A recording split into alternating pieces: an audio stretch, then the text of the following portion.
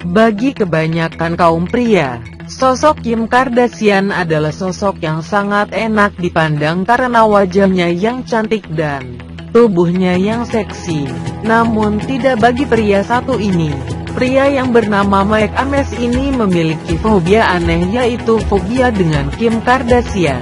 Fobia merupakan ketakutan yang ekstrim dan irasional terhadap sesuatu. Dan bagi Mike Kim Kardashian merupakan fobia yang tidak menyenangkan. Jika Mike melihat Kim dia bisa mengeluarkan keringat dingin sampai muntah-muntah, jangankan melihat. Mendengar suaranya pun sudah dapat membuat Mike gemetar dan merasa mual.